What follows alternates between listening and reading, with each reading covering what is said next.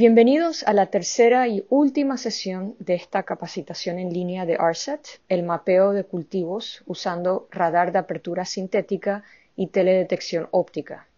Mi nombre es Erika Podest y soy científica en el Laboratorio de Propulsión a Chorro de la NASA y también instructora del programa ARSET. El jueves, el doctor Christoph Ostier y Matej Rashish nos hablaron del análisis de series temporales y de los datos listos para el análisis, y nos presentaron el Statistical API y las funciones de aprendizaje automático del Sentinel Hub. La sesión de hoy se enfoca en el monitoreo del crecimiento de los cultivos mediante parámetros estructurales de los cultivos derivados utilizando imágenes de radar. Los instructores invitados de hoy son la doctora Heather McNairn, Emily Lindsay y Xianfeng Xiao de Agriculture y AgriFood Canadá. Recuerden que habrá una tarea para esta capacitación. Las respuestas deben enviarse a través del formulario de Google al que pueden acceder desde la página de esta capacitación. La tarea está disponible a partir de hoy con fecha de entrega el 25 de abril. Se otorgará un certificado de finalización a quienes asistan a todas las sesiones en vivo y entreguen la tarea antes de la fecha límite. Recibirán un certificado aproximadamente dos, dos, meses después de la finalización del curso y lo recibirán de Marines Martins. Los instructores invitados de hoy son la doctora Heather McNairn, Emily Lindsay y Xianfeng Xiao, todas del Centro de Agricultura y Agroalimentación de Canadá, Agriculture and Agri-Food Canada. La doctora Heather McNairn desarrolla métodos, modelos y algoritmos para monitorear el estado y la condición de suelos y cultivos utilizando datos de satélites multiespectrales, hiperespectrales y de radar de apertura sintética. Actualmente dirige dos proyectos de investigación. Uno es la comparación de métodos basados en radares de apertura sintética para el monitoreo del tipo y el estado de los cultivos. Es el desarrollo de un sistema de monitoreo operativo para Canadá y más allá. El otro proyecto es la cuantificación de la productividad de los cultivos desde el espacio, una nueva métrica basada en satélites de radar para medir el desarrollo de los cultivos.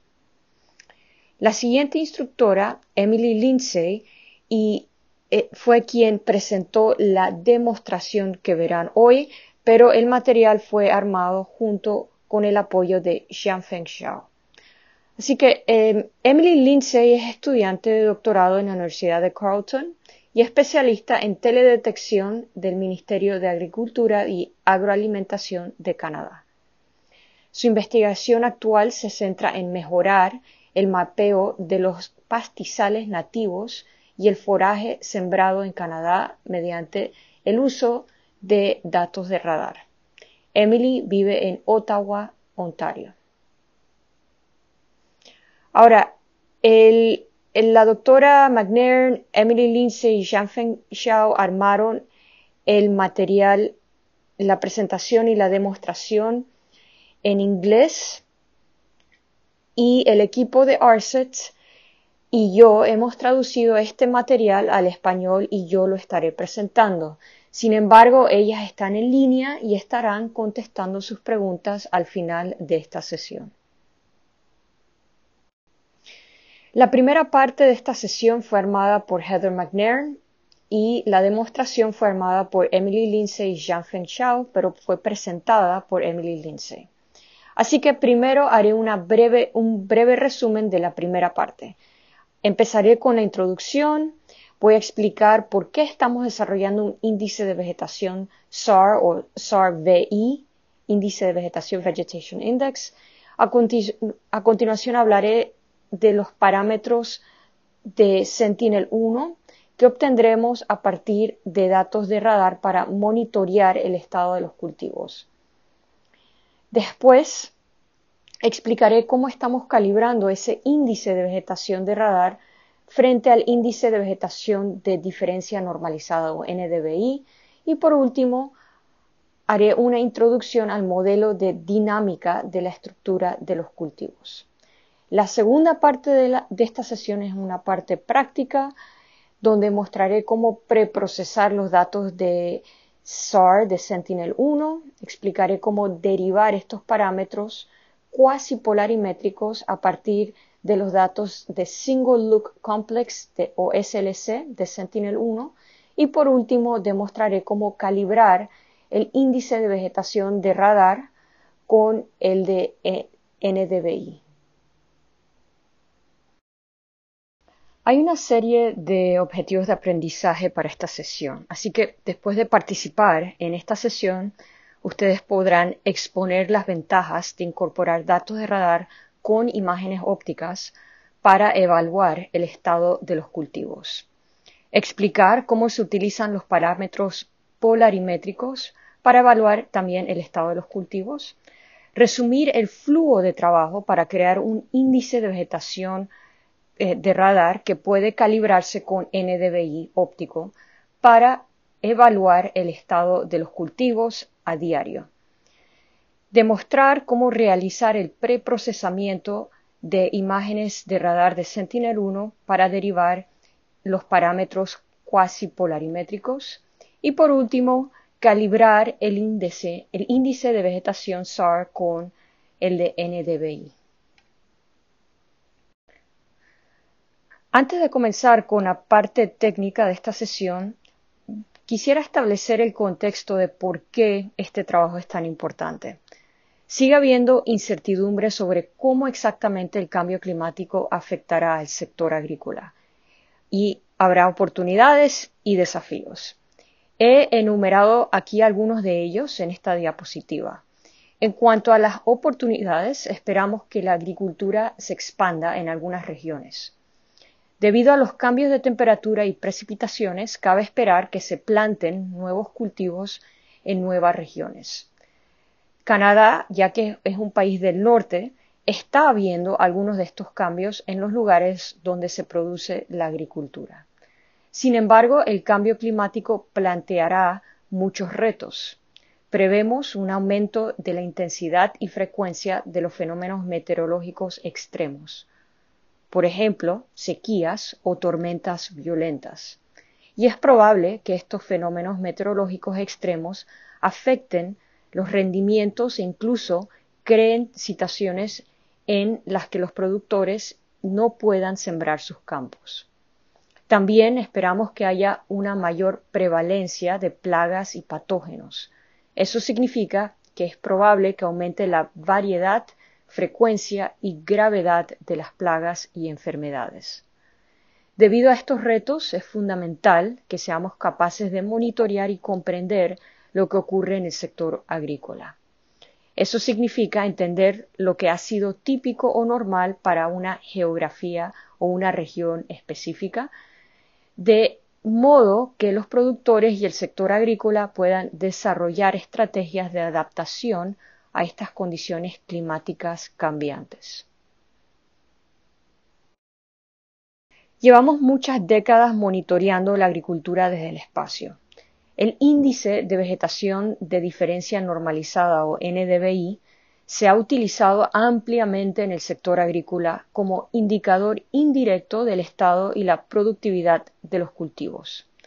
El NDVI es el cociente normalizado de la reflectancia óptica roja e infrarroja y ha sido correlacionado por muchos investigadores con indicadores de productividad para la agricultura. Por ejemplo, sabemos que el NDVI está correlacionado con el índice de área foliar, la clorofila a nivel de hoja y del dosel, así como la biomasa total sobre el suelo. A nivel mundial hay muchos sistemas operativos que se han construido en torno a una secuencia temporal de NDVI. Y aquí pueden ver enumerados algunos de estos ejemplos, de estos pero hay muchos otros ejemplos. Por lo general, estos sistemas están proporcionando una métrica de la condición actual de los cultivos y esto es realmente crítico. estos sistemas operativos están produciendo esa métrica en relación con las condiciones normales. Y esa normalidad es muy específica para una región, una ubicación, así como un momento en la temporada de crecimiento. Esto significa, por ejemplo, que el NDVI de un campo en un lugar no es necesariamente comparable con el NDVI de otro campo en otro lugar. Sabemos que el NDVI cambia a lo largo del periodo vegetativo. Aquí tenemos un ejemplo concreto de uno de estos sistemas operativos, utilizando como ejemplo el programa canadiense. Lo llamamos el Programa Canadiense de Evaluación del Estado de los Cultivos, o CCAP por sus siglas en inglés. El CCAP es un programa de Statistics Canada con el fin de monitorear operativamente toda la extensión agrícola de Canadá. El Departamento de Agricultura y Agroalimentación de Canadá ayuda a Statistics Canada en el desarrollo de este sistema operativo. CCAP es un servicio increíblemente importante para Canadá, al que acceden todos los niveles de gobierno federal y provincial, por ejemplo, agencias de comercialización, compañías de seguro, de cosechas, investigadores y los propios productores agrícolas. El CCAP proporciona datos fiables, objetivos y puntuales sobre el estado de los campos de cultivo, así como sobre el estado de los pastos y pastizales de toda la extensión agrícola de Canadá y también de la parte septentrional de Estados Unidos.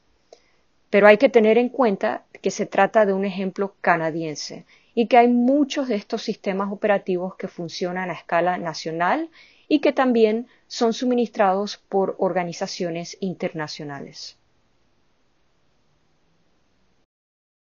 CCAP estima el NDVI creando un compuesto de siete días de datos, inicialmente de datos del satélite AVHRR de NOAA y más reciente de datos de MODIS.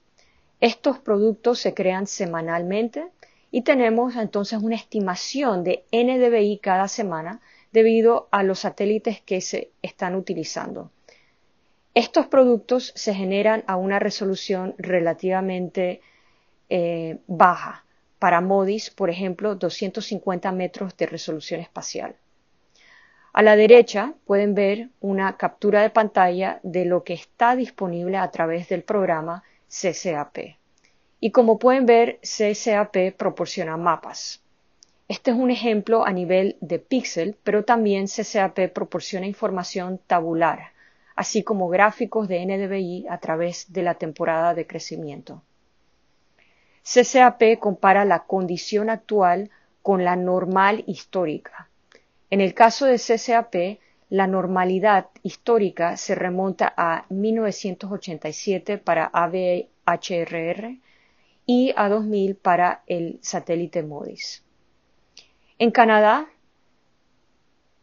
eh, CCAP se ejecuta desde la semana juliana 15, que es aproximadamente el inicio de la temporada de crecimiento de cultivos en Canadá, hasta la semana juliana 41. Este es un ejemplo concreto del programa CCAP. En el lado izquierdo pueden ver un producto de CCAP. Corresponde a la semana del 2 al 8 de agosto de 2021. Tengan en cuenta lo que mencioné anteriormente, que los productos de NDVI son generados en relación con lo normal. Así que lo que podemos ver en la primera semana de agosto de 2021 es que a través de la región, de, esta región que son las praderas canadienses, así como en, el norte de Estados Unidos, el NDVI para estas tierras agrícolas es mucho menor de lo que se esperaría históricamente para NDVI en esta región. Los valores de NDVI más bajos de lo normal están correlacionados con lo que sabemos que ocurrió eh, en esta área en 2021. Así que en 2021 hubo una reducción significativa en la producción de canola, que es un cultivo muy importante para Canadá. Y la producción de trigo se redujo en casi un 35%. Esto se debe a la grave sequía que ocurrió en 2021 debido a la falta de lluvia durante periodos de la temporada de cultivo, así como también las temperaturas superiores a la media durante toda la temporada. Además, al comenzar el periodo de cultivo, la humedad del suelo era mucho más baja de lo normal en esta región, lo que creó las condiciones de sequía. Abajo a la derecha pueden ver un gráfico generado por CCAP. La línea en azul es el NDVI normal para esta región en particular y la línea en verde es el NDVI que se registra para o se registró para 2021. Lo que es notable es que al comienzo de la temporada de crecimiento para esta región en particular, el NDVI para 2021 estaba a la par con el NDVI eh, histórico. Luego vemos una disminución significativa del NDVI en 2021 debido a las condiciones de sequía.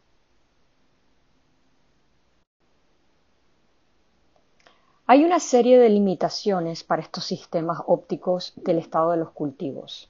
Por ejemplo, he mencionado que obtenemos un valor de NDVI por semana. Así que estos valores de NDVI se pueden proporcionar a nivel de píxel, a nivel de 250 metros o para una unidad administrativa. Las pilas de 7 días se utilizan para mitigar la nubosidad. Se apila una imagen de cada día durante siete días y se asume que durante ese periodo de siete días habrá al menos un día en el que ese píxel estará libre de nubes.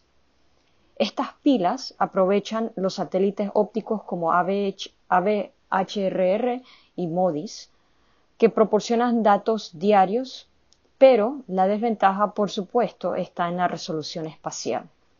Por ello, la mejor resolución que podemos obtener es de 250 metros o más si pensamos, por ejemplo, en ABHRR. Con estas resoluciones no podemos evaluar el estado de los cultivos a nivel de campo porque un solo píxel contendrá varios campos y probablemente varios tipos de cultivos. A la derecha tenemos otro ejemplo del programa CCAP. Delineado en rojo, se trata de una región agrícola censada. Estos sistemas de monitoreo pueden proporcionar NDVI a nivel de píxel o a nivel administrativo. En Canadá, el nivel administrativo se denomina la región del censo agrícola y esta región estadística contiene varios campos. Así que obtenemos un valor de NDVI por región y un valor de NDVI por semana juliana o número de semana. Así que, en resumen, estas son algunas de las limitaciones de estos sistemas ópticos. Por eso estamos estudiando el radar de apertura sintética para determinar si se puede proporcionar información adicional sobre el estado de los cultivos. Se ha investigado mucho sobre el desarrollo de índices de vegetación a partir de datos de radar y uno de los más conocidos es el índice de vegetación por radar RVI creado por Kim y Van Zyl. Ese es un ejemplo.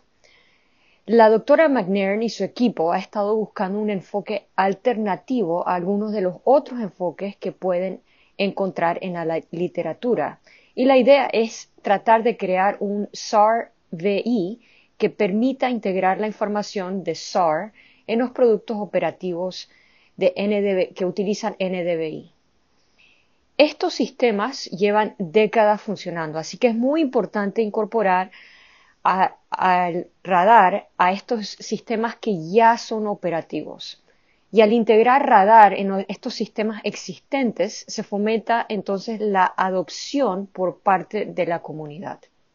Y hay una serie de clientes que dependen de sistemas basados en imágenes ópticas, por lo que no es una opción pedirle a estas comunidades que eh, desechen un sistema operativo existente y adopten un sistema basado únicamente en radar. Así que no estamos pensando en sustituir los sistemas actuales. Como ya he demostrado, tenemos que examinar el estado de los cultivos en relación con los valores normales históricos. Así sabremos lo que es típico en una zona geográfica concreta y en un momento determinado del periodo vegetativo. Así, por ejemplo, cuando Modi sustituyó a ABHRR en el sistema CCAP, se realizó una calibración entre las dos fuentes de datos para poder seguir aprovechando esas normas históricas. Y por eso el CCAP mide la normalidad para una semana y una geografía específica utilizando los datos de los últimos 35 años. Por eso, el objetivo de este trabajo es crear un índice de vegetación de radar que pueda calibrarse con el NDVI óptico y que se integre al sistema o a los sistemas existentes. Sabemos que los sensores ópticos y de radar responden a diferentes características de los targets o de los objetivos en la superficie, pero existen algunos vínculos entre estas dos fuentes de datos. La reflectancia infrarroja visible responde a la pigmentación y a la estructura de las plantas, tanto a escala de hoja como de dosel. Entonces, en lo que respecta a la estructura de las hojas, podemos observar una correlación entre la reflectancia y aspectos como el área y la orientación de las hojas, especialmente cuando pensamos en escalas de satélite. Los sensores de radar responden al contenido dieléctrico o de agua del objetivo o del target, pero la dispersión de las microondas también se ve afectada por la geometría de los objetos en la superficie. Y esa geometría dicta no solo la intensidad de la retrodispersión que recibe el sensor, sino también las características de la dispersión angular. Así que en el caso de las copas de los árboles hay que tener en cuenta el tamaño y la forma de las hojas, así como su orientación hacia eh, la señal de eh, entrante de radar. La retrodispersión de radar también se ha correlacionado con parámetros biofísicos relacionados con la estructura de los cultivos. Hemos visto correlaciones entre la retrodispersión y las características de dispersión y el área foliar y la biomasa. Por ello, en la estructura de la cobertura vegetal existe un vínculo entre la señal de los sensores ópticos y de radar. En la sesión de hoy vamos a utilizar datos polarimétricos y hay una muy buena razón para ello. Este tipo de datos proporciona una caracterización más completa de la dispersión de la señal de radar. Por lo tanto, no solo observamos la cantidad de energía dispersada hacia el satélite, sino que también recopilamos información sobre cómo el dosel está afectando esas ondas dispersadas. La estructura del dosel está estrechamente relacionada con el desarrollo de los cultivos, como por ejemplo la fenología y la biomasa. Y debido a ese vínculo entre las características de dispersión y la estructura de los cultivos, es por lo que los datos polarimétricos son muy interesantes y útiles para detectar el crecimiento de los cultivos, así como la acumulación de biomasa. En el lado derecho está la gráfica del flujo de procesamiento que vamos a utilizar en esta sesión. Estaremos utilizando datos de Sentinel-1. La Selección de características es una opción y hablaremos de eso eh, dentro de poco. A continuación, entonces, resumiré el desarrollo de esa calibración entre el índice de vegetación de radar y el NDVI. ¿Cómo ajustamos el índice de vegetación de radar a un modelo de dinámica de la estructura de los, de los cultivos? Y luego, cómo podemos utilizar ese modelo de dinámica de la estructura de los cultivos para proporcionar estimaciones diarias del estado de los cultivos. Antes de entrar en el procesamiento de los datos de radar, quiero repasar rápidamente las diferencias entre los datos totalmente polarimétricos o quadpol y los datos cuasi polarimétricos o pseudopolarimétricos. Los sensores totalmente polarimétricos transmiten dos ondas polarizadas ortogonalmente, Normalmente son ondas lineales horizontales y verticales, pero pueden ser dos ondas ortogonales. Estos sensores reciben dos ondas ortogonales de retorno y típicamente eh, horizontales y verticales. Y lo que es muy crítico para la polarimetría es que los sensores miden la fase y esa fase es retenida durante el procesamiento de la señal. Los datos Single Loop Complex pueden almacenarse en muchas formas, en muchos formatos diferentes. Un formato, por ejemplo, podría ser la matriz de covarianza de 3x3.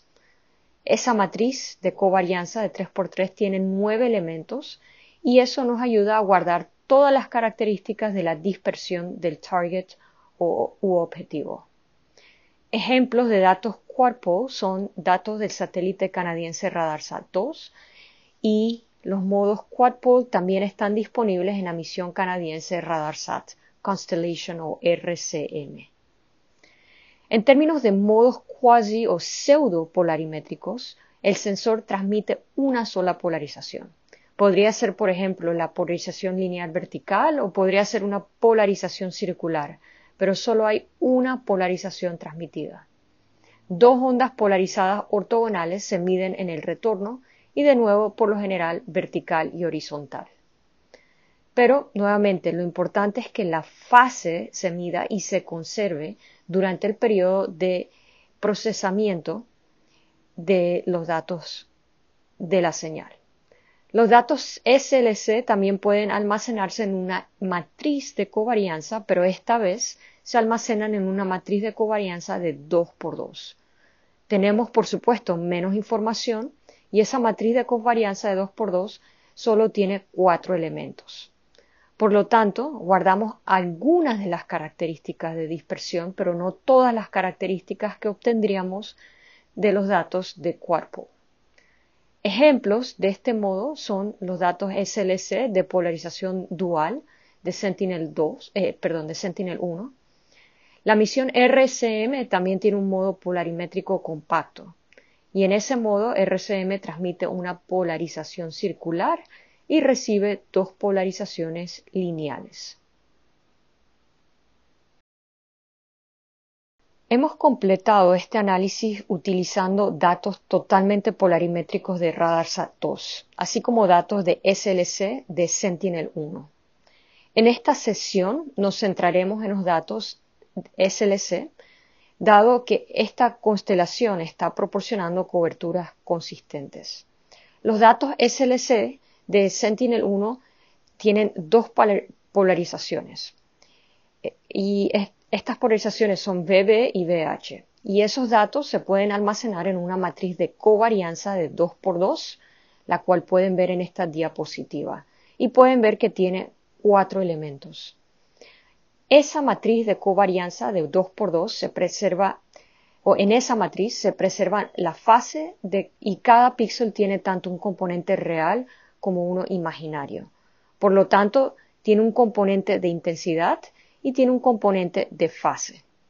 Entonces, usando esa matriz de covarianza de 2 por 2 podemos derivar algunos parámetros de dispersión que son similares a los parámetros totalmente polarimétricos, pero en algunos casos no son exactamente los mismos. Y hablaremos de eso en un minuto. En esta tabla hay una lista de algunos parámetros polarimétricos y la definición y fórmula matemática de cada uno de ellos.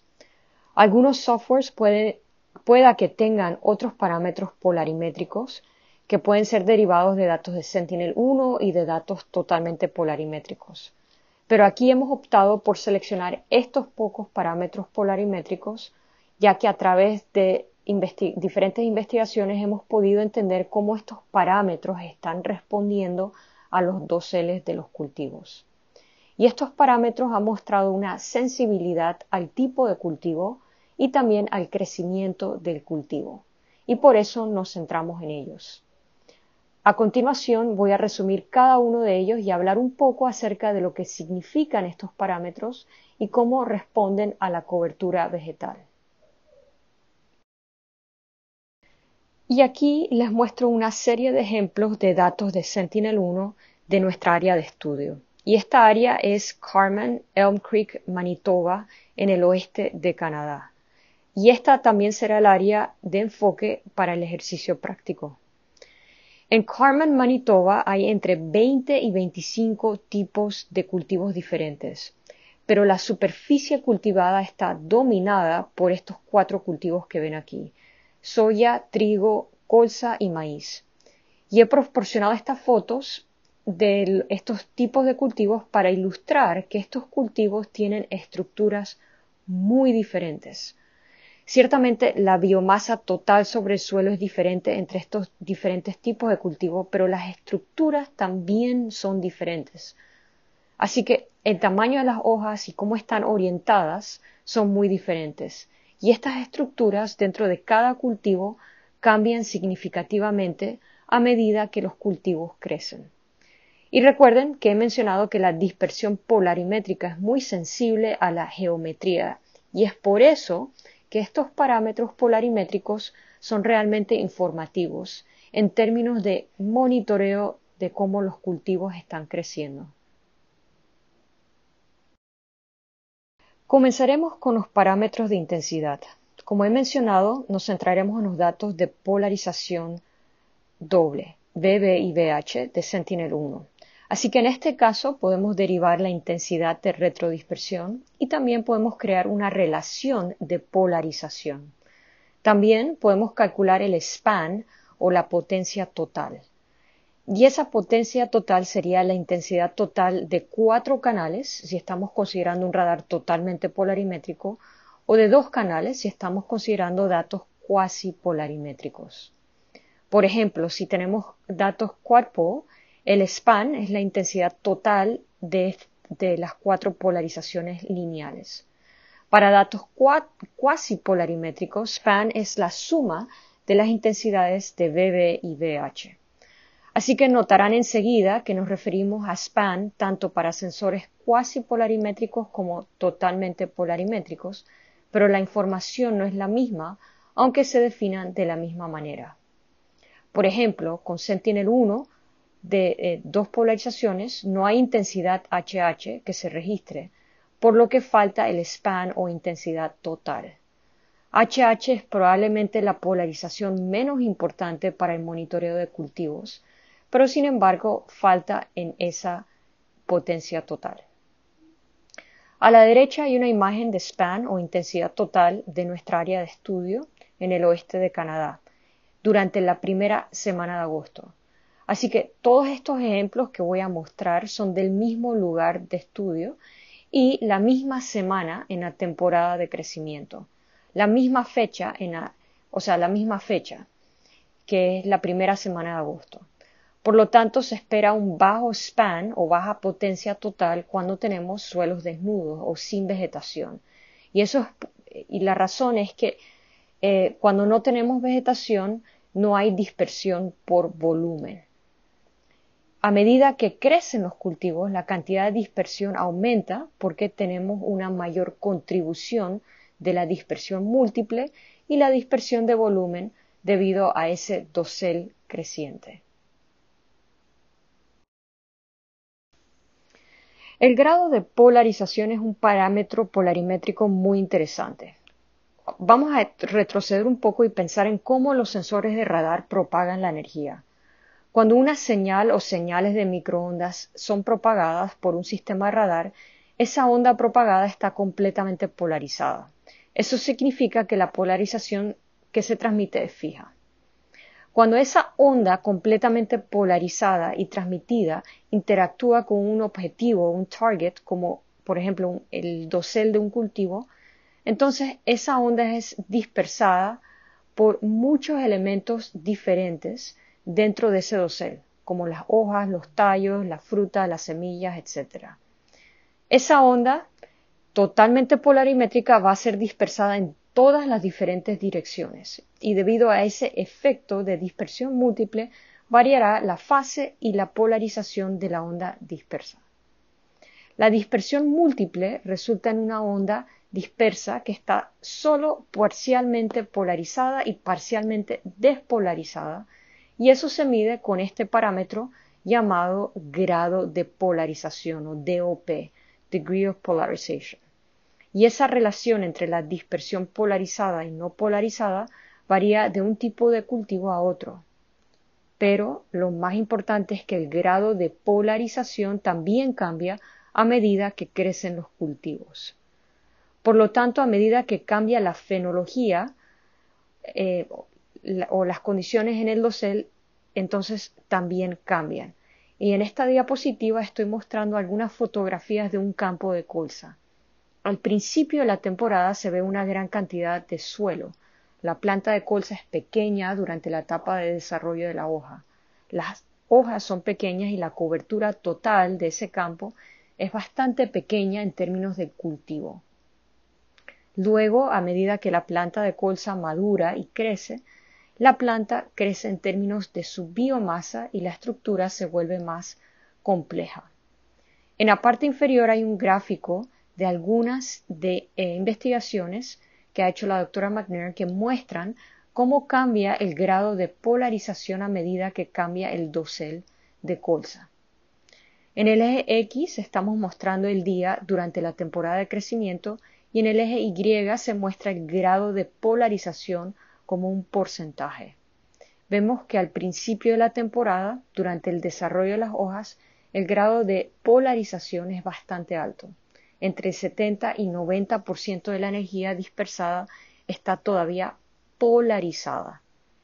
Pero vemos que a medida que la estructura del dosel se vuelve más compleja, la planta de colza entra en floración y comienza a desarrollar sus semillas la cantidad de energía que se dispersa se vuelve más despolarizada. Así que este parámetro del grado de polarización es realmente interesante cuando se utiliza para monitorear el desarrollo de los cultivos. Existen cuatro parámetros de Stokes. El primer parámetro de Stokes representa la intensidad total de la retrodispersión del radar tanto la parte no polarizada como la polarizada. Así que el primer parámetro de Stokes equivale al span o a la potencia total. Hay tres parámetros de Stokes adicionales, 1, 2 y 3, y estos son eh, estos otros tres parámetros de Stokes describen las propiedades de la porción polarizada del campo electromagnético. Hablemos de los otros tres parámetros de Stokes. Estos son un poco difíciles de entender exactamente desde una perspectiva de las características del dosel que están causando las eh, respuestas en la señal de radar. Así que lo que hemos encontrado es que es más útil tratar de interpretar las respuestas de estos parámetros de Stokes juntos y he proporcionado la definición de cada uno de estos parámetros. El primer parámetro de Stokes es la diferencia de potencia de los dos canales de recepción, en nuestro caso H y B. El segundo parámetro es la dominancia de la polarización lineal a 45 grados de inclinación sobre una polarización lineal negativa a 45 grados de inclinación. El tercer parámetro de Stokes es la dominancia de la polarización circular derecha sobre la polarización circular izquierda. Pero lo interesante es el comportamiento de los parámetros de Stokes en conjunto para monitorear el desarrollo de los cultivos. Estos gráficos son ejemplos de un campo de trigo en el lado izquierdo y en el lado derecho un ejemplo de cómo estos tres parámetros de Stokes se comportan para un campo de canola. Y una vez más, en el eje X está el día durante la temporada de crecimiento y en el eje Y los parámetros de Stokes mostrados en sus valores absolutos. Y he resaltado para ambos cultivos diferentes etapas de desarrollo.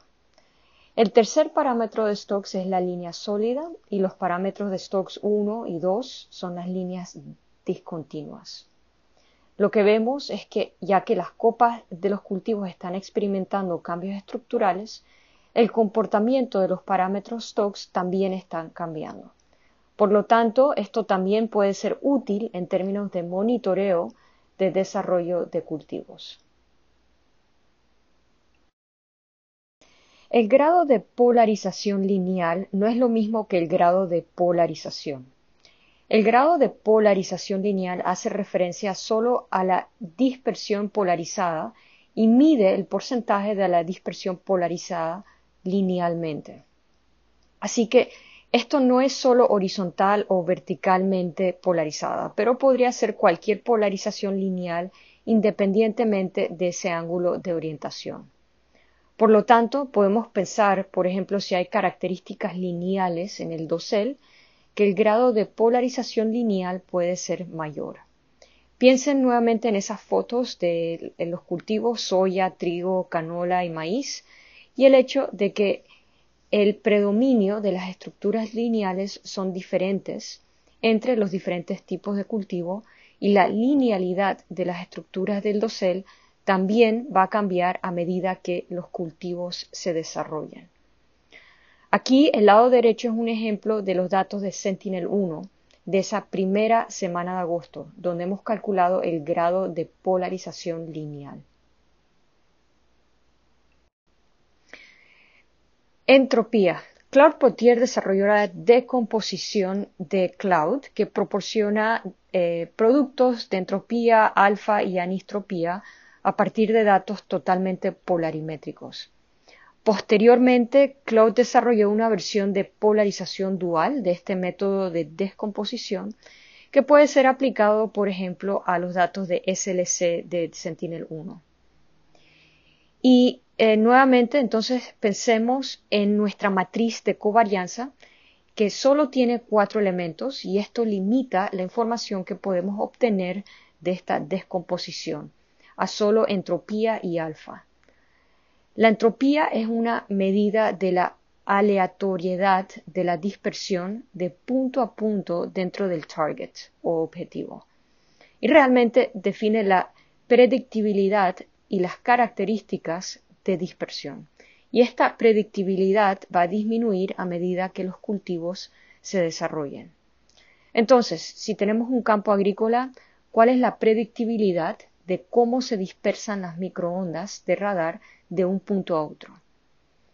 Al principio de la temporada, cuando el dosel es bastante pequeño y hay mucho suelo expuesto, la dispersión es más predecible pero a medida que la estructura del dosel se desarrolla y se complica, será más difícil predecir cómo se dispersan las microondas de un punto a otro dentro del dosel. La entropía de Shannon es también un parámetro muy interesante que puede derivarse de los datos polarimétricos. Y este parámetro en particular es la suma de dos contribuciones relacionadas con la intensidad, así como con el grado de polarización.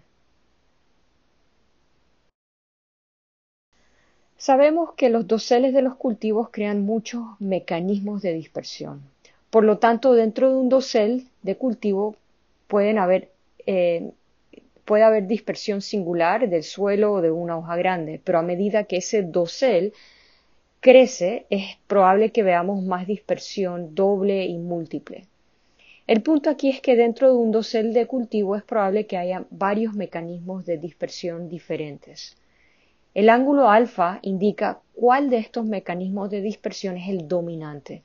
Así que, de nuevo, al principio de la temporada, cuando tenemos más suelo expuesto y un dosel más pequeño, podemos tener un predominio de dispersión simple.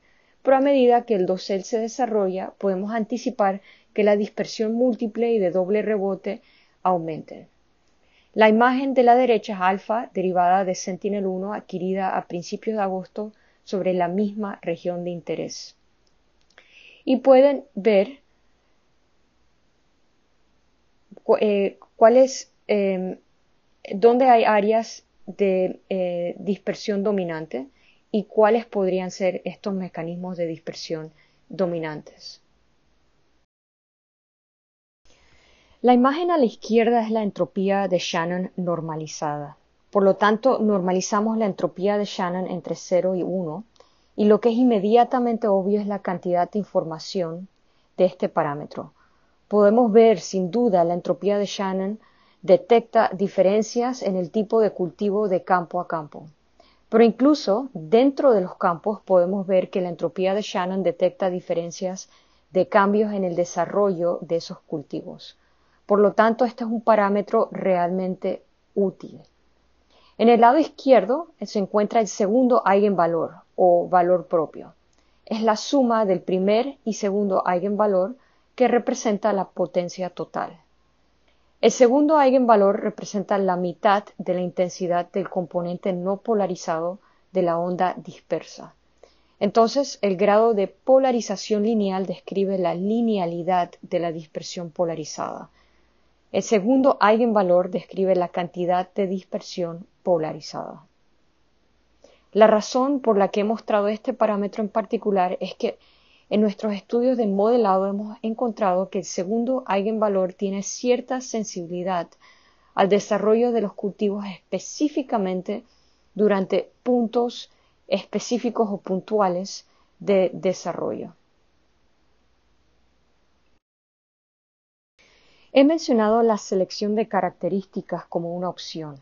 Como acabo de describir, podemos derivar una serie de diferentes parámetros polarimétricos de los datos de SLC de Sentinel-1 a partir de nuestra covarianza de 2 por 2. Sin embargo, sabemos que estos parámetros pueden tener correlaciones cruzadas y ofrecer información redundante. Si tenemos un gran número de variables que están altamente correlacionadas y tenemos un gran número de estas eh, de, estas variables, de estas capas, esto puede resultar en un sobreajuste del modelo. Por lo tanto, una vez que hemos derivado los parámetros polarimétricos, hay una opción para hacer una selección de características. Y esto se puede hacer aplicando algoritmos de selección de características. Hay varios algoritmos disponibles. Usamos el algoritmo Lazo como ejemplo. Así que pueden preseleccionar las características para eliminar esas, esas capas redundantes de información o pueden indicarle a los modelos de aprendizaje automático que, que seleccionen las mejores capas o las mejores características. Durante esta sesión no vamos a aplicar esta selección de características, pero esta es una opción para que ustedes puedan reducir el número de parámetros que entran al modelo. Tenemos datos de Sentinel preprocesados y hemos derivado todos nuestros parámetros cuasi polarimétricos que acabo de describir. La otra fuente de datos que necesitamos en esta calibración son las de NDVI. Así que en este ejercicio en particular estamos utilizando datos de Sentinel-2 para calcular NDVI. En nuestro modelo lo hemos aplicado a seis tipos de cultivos diferentes. Así que hemos desarrollado ecuaciones de calibración para cada uno de los seis tipos de cultivos. Y también hemos desarrollado un modelo de calibración global. Así que, de nuevo, el preprocesamiento deriva los parámetros polarimétricos de radar de los datos de SLC de Sentinel-1 y NDVI de Sentinel-2. Aquí es donde se considera si desean aplicar la selección de características para reducir el número de parámetros que entran al modelo y hemos hecho este modelado sobre una parte de la imagen. Hemos tomado los datos de NDVI de Sentinel-2 y aplicado un proceso de segmentación para crear objetos dentro de la imagen. La razón por la cual hicimos esto es porque incluso después del preprocesamiento es probable que haya ruido residual de alguno de los parámetros derivados de las imágenes de SAR. También pueden utilizar los límites del campo para definir los objetos, pero hemos aplicado una segmentación porque incluso dentro de un mismo campo agrícola puede haber diferencias en el crecimiento de los cultivos. Así que hemos permitido que esas diferencias en el desarrollo de la vegetación impulsen la creación de estos segmentos. Una vez que hemos creado nuestros segmentos, ya sean objetos, ya sean segmentos o límites de campos, el siguiente paso es calcular el promedio del radar para cada uno de esos parámetros polarimétricos, al igual que el promedio de NDVI. Lo hemos hecho cultivo por cultivo y también para crear una ecuación de calibración global. Cuando comenzamos esta investigación hace unos años, empezamos con una simple regresión lineal de modo que tomábamos un parámetro SAR y lo regresionábamos contra los valores de NDVI. Y por supuesto, esto tiene muchas limitaciones. Es un método menos robusto y solo podemos utilizar una respuesta de radar. Como acabamos de ver, hay una gran riqueza de datos en todos estos parámetros polarimétricos. Por eso es que recurrimos a algoritmos de aprendizaje automático para crear un tipo de algoritmo más robusto e inclusivo. Y hemos probado diferentes modelos de aprendizaje automático, redes neuronales, LSBoost y Random Forest. En esta versión, en esta sesión, vamos a centrarnos en Random Forest. La parte práctica de la sesión será sobre cómo crear ese modelo de calibración dentro de Random Forest. Seleccionamos Random Forest porque los resultados de nuestro el modelado de Random Forest ha sido comparable a otros resultados. Y también que Random Forest es un algoritmo bastante fácil de implementar en muchos softwares diferentes.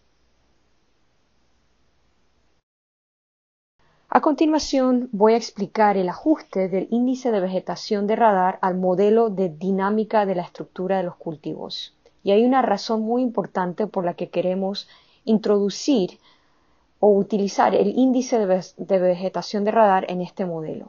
Si no hacemos este ajuste, estamos limitando las estimaciones del estado de nuestros cultivos a partir de los datos de radar eh, solo cuando el satélite con el sensor de radar está adquiriendo datos y no queremos hacer eso. Así que el modelo Dynamics nos permite hacer eh, estimaciones del estado de los cultivos a diario. El modelo lo pueden ver en la diapositiva, en esta diapositiva, y nos permite derivar mejor información temporal, estimaciones diarias y aún conservamos las estimaciones de subcampo porque estamos utilizando los datos de Sentinel-1. El modelo de dinámica de la estructura de los cultivos tiene dos componentes. Hay un componente que describe el crecimiento del dosel del cultivo y un componente del modelo que describe la senescencia de los cultivos. Los parámetros del modelo son los siguientes. D es el descriptor estructural del dosel, en nuestro caso, D es el índice de vegetación de radar que hemos calibrado con respecto al NDVI utilizando nuestro algoritmo de aprendizaje automático. En nuestro caso utilizamos regression, regresión de Random Forest. T son los días grados de crecimiento acumulados y en Canadá fijamos el inicio de la temporada de crecimiento al primero de mayo. Como tal, las únicas entradas al modelo Crop Structure Dynamics son el índice de vegetación de radar calibrado y los días grados de crecimiento. Luego hay varios coeficientes que habrá que determinar. Y hemos utilizado el método de mínimos cuadrados para determinar estos coeficientes. A la derecha hay un ejemplo de los resultados del modelo de dinámica de la estructura de los cultivos. Este es un ejemplo de canola.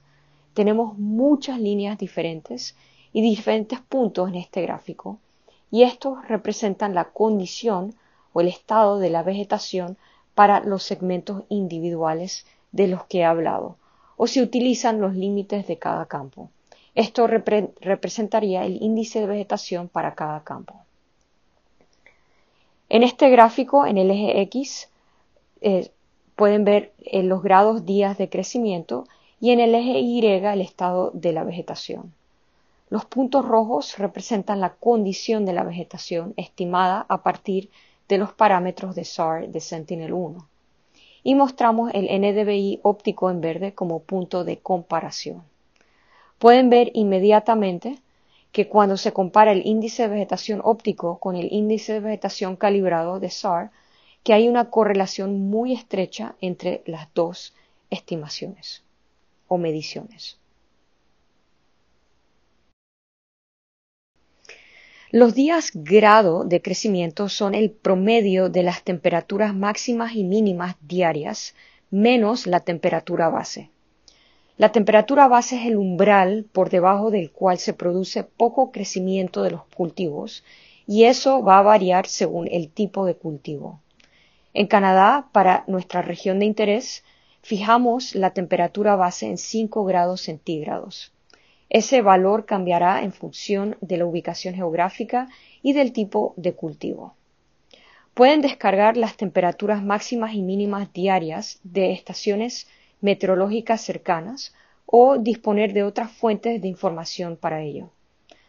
A continuación, los grados días de cultivo acumulados se calculan simplemente sumando los grados días de cultivo de cada día diferente, perdón, de cada día durante la temporada de cultivo. En este gráfico se encuentra un ejemplo del cálculo de los grados día de crecimiento acumulados. Las líneas azules representan las temperaturas mínimas y máximas y la línea roja representa la acumulación de grados día de crecimiento en toda la región. Así que ahora que hemos creado nuestros parámetros derivados de SAR y los hemos calibrado contra NDVI, Hemos entonces integrado ese índice de vegetación de SAR en nuestro modelo de dinámica de estructura de cultivos. Ahora podemos estimar el estado de los cultivos a diario y añadir una escala de campo. Estas imágenes muestran seis ejemplos de la estimación del estado de la vegetación. Esto es para los cultivos de colza en nuestra área de estudio y estamos estimando el estado de la vegetación entre 0 y 1, similar a NDVI. Como ya he mencionado, el modelo de dinámica de, la estructura de los cultivos nos permite estimar el estado cada día, pero solo aquí, aquí solo estoy mostrando seis ejemplos en seis fechas. Y la razón por la que elegí estas seis fechas es porque el equipo de ARC ha recolectado datos de biomasa y mediciones de área foliar para los sitios eh, eh, de, enfoque con el fin de comprender o en mejor entender la relación entre nuestra métrica de calibración de radar y los parámetros biofísicos. Lo que estamos haciendo es calibrar el estado de la vegetación estimado con SAR a partir del modelo de dinámica de la estructura de los cultivos con la biomasa. Esto eh, es trabajo en curso, hemos completado esto para canola o, colza, pero tenemos estas mediciones para otros tipos de cultivos y vemos correlaciones bastante fuertes entre el índice de vegetación de radar y la biomasa, en particular a principios y mediados de la temporada, hasta el pico de crecimiento por lo tanto, tenemos coeficientes de correlación de 0.88 y vemos una correlación más débil, aunque todavía significativa, durante el periodo de senescencia de los cultivos. Y esa menor correlación está muy probablemente relacionada con el hecho de que el dosel está senescente, perdiendo contenido de agua del dosel y que también está afectando a la respuesta del radar.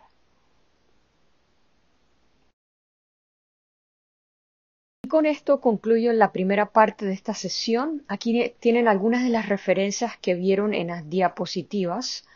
Y ahora pasaremos a la segunda parte de la sesión, que es el ejercicio práctico.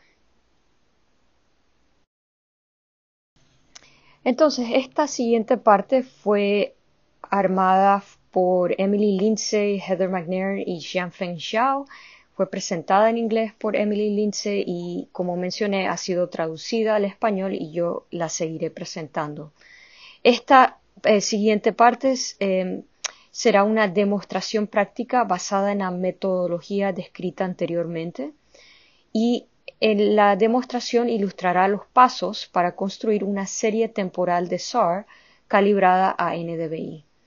Em, estos pasos han sido adaptados del artículo de 2022 de Xianfeng Xiao, publicado en el International Journal de Remote Sensing. Comenzaremos este ejercicio práctico con una demostración de los pasos de procesamiento necesarios para preparar una imagen de SLC de Sentinel-1 utilizando el Snap eh, software y exportar, exportarla como una matriz de covarianza de 2x2. A continuación demostraremos cómo derivar algunos parámetros pseudopolarimétricos a partir de la matriz C2 de datos polarimétricos con dos polarizaciones de Sentinel-1 utilizando Pulsar Pro. Y por último, demostraremos cómo utilizar la regresión de Random Forest para obtener un modelo de SAR calibrado a NDVI utilizando Python y cómo este modelo de regresión se puede utilizar para predecir eh, para predecir eh, eh, diariamente el estado de los cultivos utilizando un modelo de dinámica de la estructura de los cultivos y los días grado de crecimiento.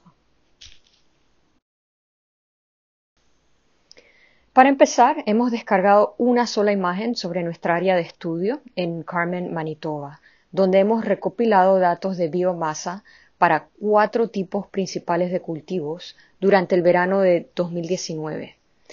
Hay cinco imágenes NDVI libres de nubes para este periodo de tiempo y encontramos una imagen SLC de Sentinel-1 correspondiente a, de 1 a 4 días desde la imagen de Sentinel-2 durante esta temporada de crecimiento y con la misma geometría de visualización.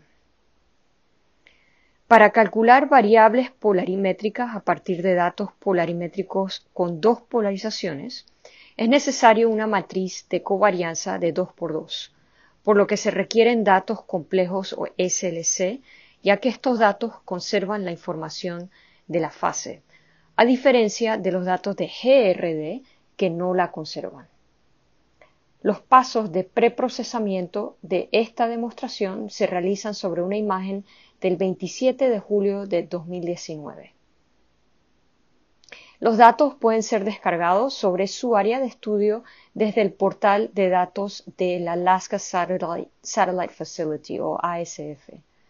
El archivo zip eh, eh, que descargan puede ser leído directamente por Snap. Si desean seguir el proceso, eh, esta demostración pueden utilizar, pueden hacer una búsqueda para la imagen que utilizamos aquí usando el nombre que ven en esta diapositiva o también pueden eh, utilizar una imagen sobre su propia área de interés. Y estos son los pasos a seguir para generar las variables cuasi polarimétricas utilizando datos de Sentinel-1, SLC, en Snap y Pulsar Pro. A continuación, pueden ver los pasos para extraer estos parámetros y utilizarlos en una regresión Random Forest en Python para ajustar las variables cuasi polarimétricas a los correspondientes valores de NDVI calculados de Sentinel-2 y crear entonces un SAR calibrado por NDVI para un tipo específico de cultivo. En este caso, el SAR calibrado por NDVI es específico de los campos de maíz de la zona de estudio. A continuación, el modelo de regresión de Random Forest se utiliza con un modelo de dinámica de la estructura del dosel y con días de grado de crecimiento para estimar el estado del cultivo a diario. Esto se hace en MATLAB. Comenzaremos demostrando la primera parte de la metodología de procesamiento para generar una matriz C2 a partir de nuestra imagen SLC de Sentinel-1, descargada con cobertura sobre nuestros campos de maíz en nuestra área de estudio en Manitoba, en Carmen, Manitoba. Y esto lo haremos en Snap. Estos pasos incluyen la reducción de la extensión de la imagen para reducir el tiempo de procesamiento, la corrección radiométrica y geométrica, las mejoras de la imagen y el filtrado polarimétrico de espejo o moteado para reducir el ruido en las imágenes. Durante la adquisición de las imágenes, el Sistema Mundial de Navegación por Satélite registra la posición del satélite que se almacena y distribuye dentro de los metadatos de, los datos de Sentinel-1. Se necesita una ubicación precisa del satélite para corregir cualquier movimiento en la trayectoria orbital del satélite que pueda producirse durante el funcionamiento normal del mismo, como por ejemplo el viento solar y los efectos gravitacionales. Un archivo de órbita preciso para los datos de Sentinel-1 puede ser descargado de la ESA y está disponible en un plazo de 20 días desde la adquisición de los datos y tiene una precisión de 5 centímetros. Para aplicar el archivo de órbita o el orbit file en Snap, seleccionen el menú desplegable de radar y seleccionen Apply Orbit eh, File de la lista de opciones. En Apply Orbit File Input Output Parameters deben seleccionar su archivo zip de, em, que es la imagen SLC que descargaron. Este es el archivo de entrada y deben de especificar una ubicación de carpeta de salida y un nombre de archivo de destino de salida. En cuanto a los parámetros de procesamiento, seleccionen Sentinel Precise Auto Download como vector de estado de órbita y ejecuten la herramienta de procesamiento Apply Orbit File. El modo interferométrico de franjas anchas o Interferometric White Swath Mode o IW de Sentinel-1 proporciona una imagen de 250 kilómetros de ancho que consiste en tres subfranjas con una resolución de 5 por 20 metros. Tiene nueve ráfagas en la dirección longitudinal o azimut y se puede aplicar un top split a los datos de Sentinel-1 corregidos en órbita para seleccionar las subfranjas y ráfagas que se aplican a su área de interés. Esto con el fin de reducir el tiempo de procesamiento mediante la disminución de la extensión de la cobertura de la imagen original. En este caso, todos nuestros campos de maíz se encuentran dentro de la subfranja IW2, por lo que podemos excluir las subfranjas IW1 e IW3. Esto dependerá de la ubicación y el tamaño de su área local de interés. Podemos reducir aún más las ráfagas en la dirección azimutal para seleccionar solo las ráfagas número 3 a 6 de 9. Para ejecutar el TOPS Split, seleccionen el Sentinel-1 TOPS en el menú desplegable Radar y seleccionen S1 Sentinel-1 TOPS Split. Utilicen la imagen corregida en órbita como entrada y definan la ubicación del archivo de salida. En la pestaña de Processing Parameters, elijan la subfranja apropiada. En este caso, como mencionamos, seleccionamos la subfranja IW2 y entonces reduzcan el número de ráfagas, si es apropiado, eh, y lo hacen deslizando las flechas. Seleccionen ambas polarizaciones y ejecuten la herramienta de S1 Tops Split.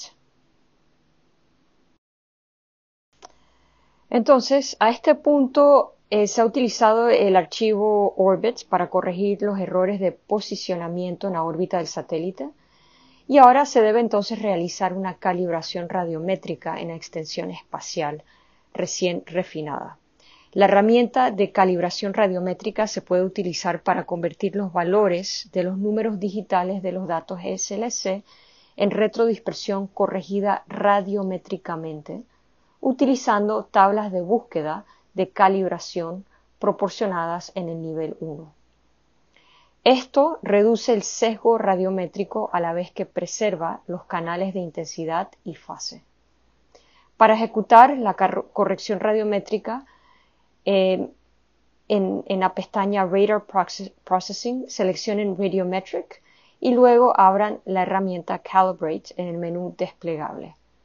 En la pestaña Input Output Parameters seleccionen el archivo S1 Top Split como archivo de entrada y especifiquen una ruta de archivo de salida.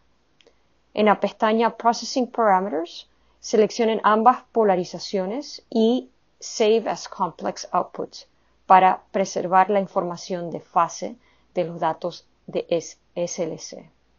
Ejecuten la herramienta de calibración.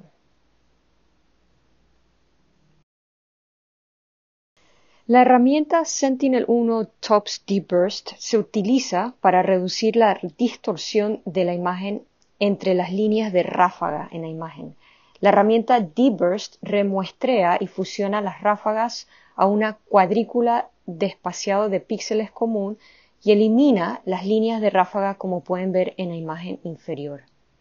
Para abrir la herramienta D-Burst en la pestaña Radar Processing seleccionen Sentinel-1 TOPS y Sentinel-1 TOPS D-Burst. En los parámetros de Input-Output de la herramienta, seleccionen el archivo de salida Calibrated Output File del paso anterior y definan un archivo de destino de salida. Seleccionen ambas polarizaciones en la pestaña Processing Parameters. Ahora ejecuten la herramienta e inspeccionen las imágenes procesadas y no procesadas para asegurarse de que las líneas de ráfagas han sido eliminadas. En el siguiente paso, hacemos el filtrado polarimétrico. Y este filtrado polarimétrico de moteado se realiza a diferencia del filtrado de moteado normal para preservar la información de fase y la información polarimétrica a la misma vez que reducimos el moteado. La salida del filtro polarimétrico de moteado en Snap también se convierte en la matriz de covarianza, que es otro paso de procesamiento necesario. Snap tiene cuatro algoritmos de filtrado de moteado polarimétrico incorporados en la herramienta de filtrado de moteado polarimétrico. Estos son Boxcar, Intensity Driven Adaptive Neighborhood, Refined Lee y el Improved Lee Sigma. Es importante tener en cuenta que no existe un filtro perfecto y que todos reducen el ruido de diferentes maneras. Un filtro de moteado ideal reduce el ruido y preserva las características lineales y la información de textura. Así que elijan el algoritmo y el tamaño de ventana que mejor se adapte a su aplicación. En este caso, hemos seleccionado un filtro Boxcar con un tamaño de ventana de 7 x 7. En general, para las aplicaciones agrícolas en las praderas de Canadá, estamos viendo campos muy grandes, muy extensos, por lo que podemos elegir un tamaño más grande de ventana de filtro de moteado. Un tamaño de ventana más pequeño preserva las características pequeñas y lineales, mientras que una ventana más grande crea un resultado más homogéneo. Para ejecutar el algoritmo de filtrado, filtrado polarimétrico de Speckle, seleccionen la imagen de dburst como archivo de entrada en la pestaña de Input Output Parameters y defina una ruta de archivo de destino de salida.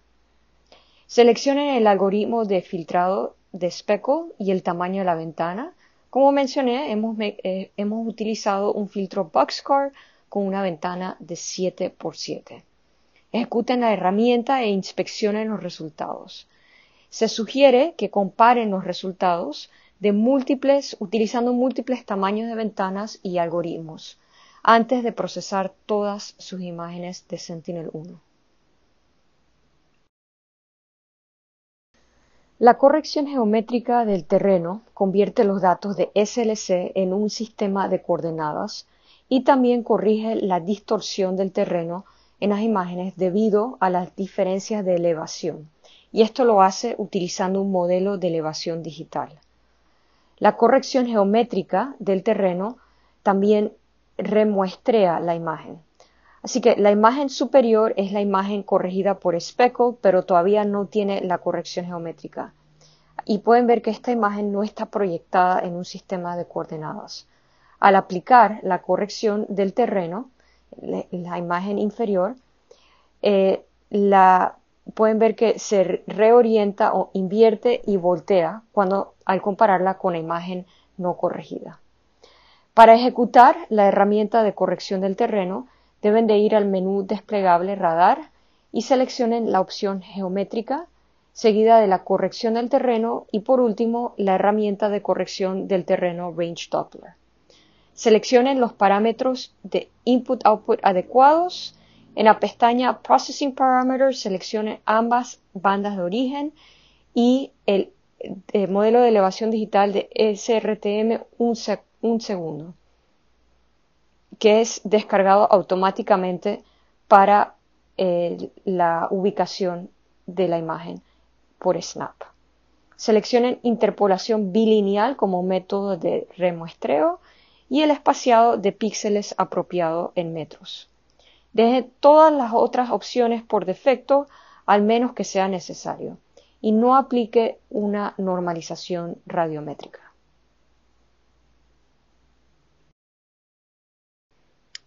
Entonces, para ahorrar tiempo y completar las tareas o el flujo de procesamiento por lotes en Snap, todos los pasos de procesamiento anteriores que, presenté que vieron pueden ser configurados utilizando el Snap Graph Builder para automatizar ese flujo de trabajo de preprocesamiento. Y esto es especialmente útil cuando necesitan procesar muchas imágenes. Solo asegúrense de seleccionar todos los parámetros correctos de input-output y procesamiento para cada herramienta. Un gráfico guardado puede ejecutarse a través de la herramienta de procesamiento por lotes para entonces ahorrar tiempo. El paso final en Snap es exportar la matriz C2 corregida de terreno para usarla en Pulsar Pro, así como exportar la imagen corregida de terreno como GeoTIFF para, para usarla como imagen maestra georreferenciada al convertir del formato Pulsar Pro de nuevo a GeoTIFF. Para exportar una imagen desde Snap, en la pestaña Archivo seleccionen las, opciones de exportación y naveguen hasta las opciones de formato SAR al formato Pulsar Pro. Exporten a una nueva ubicación de carpeta de trabajo y nombren la nueva carpeta C2. Entonces exporten también el archivo procesado como GeoTIFF a otra ubicación, a otra carpeta. A continuación, naveguen hasta la carpeta C2 exportada y abran el archivo config.txt en el blog con el editor de notas o de textos. Editen el polar type de dual a pp2 y guarden este archivo. Esto permitirá que Pulsar Pro reconozca los datos como una matriz 2x2.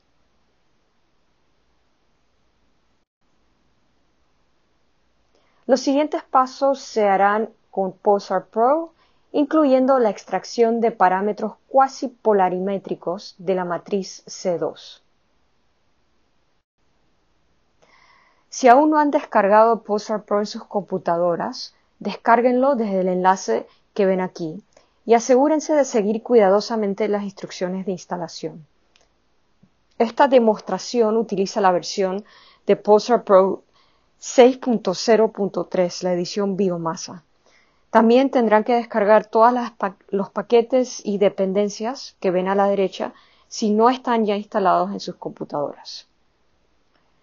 Después de importar la matriz de covarianza en Pulsar Pro y configurar el entorno, utilizaremos Pulsar Pro para extraer los elementos de la matriz, los componentes Stokes, los parámetros Child y los parámetros de descomposición utilizados para calibrar a NDVI.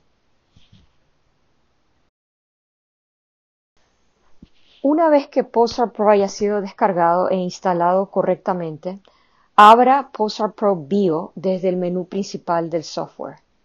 En la pestaña Entorno o Environment del programa Biomass versión 1.0, seleccione Single Dataset o datos únicos Pulsar y naveguen hasta su carpeta de trabajo C2 que contiene ese archivo que editamos, el, archivo de texto de configuración. Si todo eh, se ha hecho correctamente, la parte inferior izquierda de la herramienta Biomass debería mostrar que Pulsar Pro puede leer correctamente la matriz C2 y deben de poder seleccionar todas las otras opciones en la barra de herramientas. Los primeros parámetros que vamos a calcular en Pulsar Pro son los elementos de la matriz de covarianza C11, C22 y SPAN.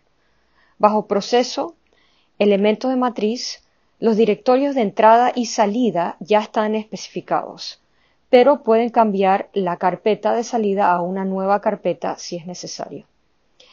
Primero vamos a procesar módulos C11 o VB, módulos C22 o VH, y los parámetros span lineales de elementos de la matriz. Módulo es la representación lineal de la amplitud de la matriz C2 y span es la potencia, la potencia total o intensidad de la suma de todos los elementos de la matriz.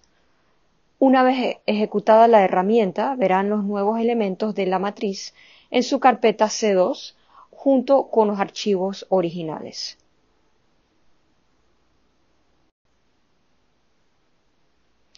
Utilizando la matriz de covarianza, podemos calcular los cuatro parámetros de Stokes en Pulsar Pro.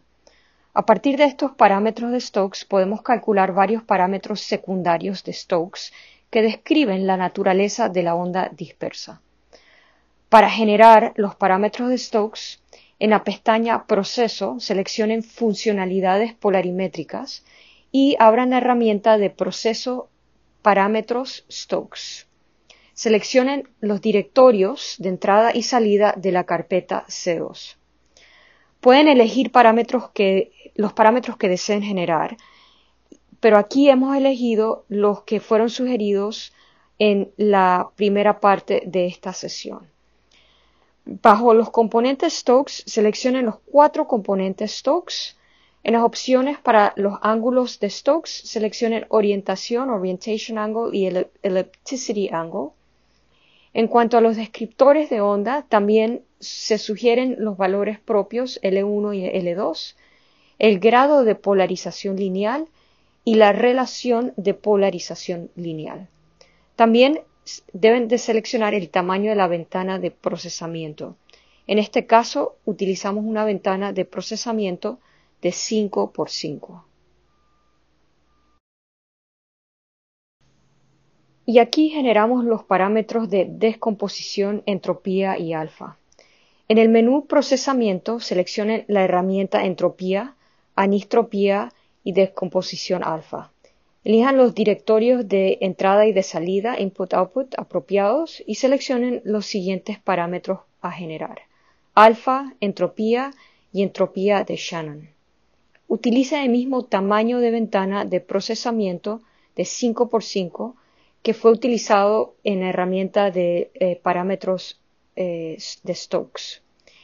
Cuando ejecuten esta herramienta, comprueben que los parámetros procesados se almacenaron en la carpeta C2.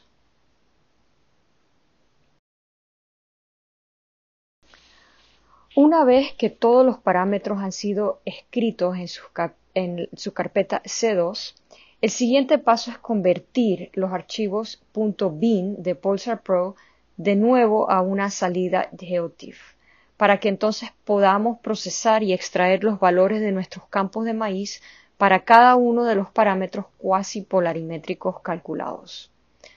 Hay varias maneras de hacer esto, pero hemos encontrado que la forma más fácil de convertir desde el formato de imagen Pulsar Pro a un GeoTIFF que es fácilmente leído por otro software o, otros softwares de procesamiento de imágenes es utilizando GDAL e, y Python.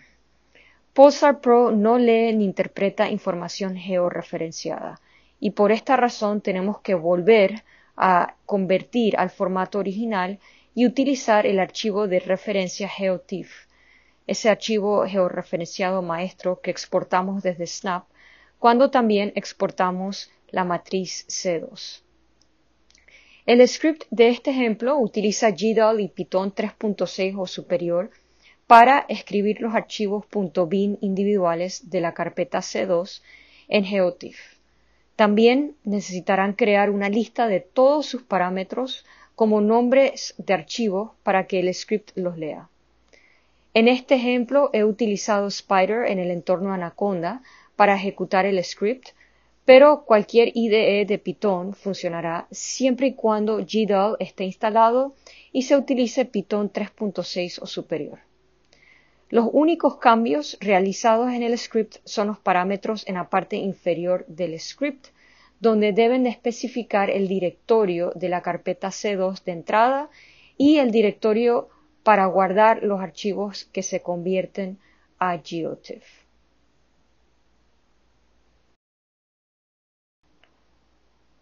Antes de aplicar la regresión de Random Forest para calibrar los parámetros de SAR con el NDVI, es importante señalar que primero hay que extraer el NDVI promedio de los datos de Sentinel-2 y los valores de los parámetros de SAR de los diferentes objetos.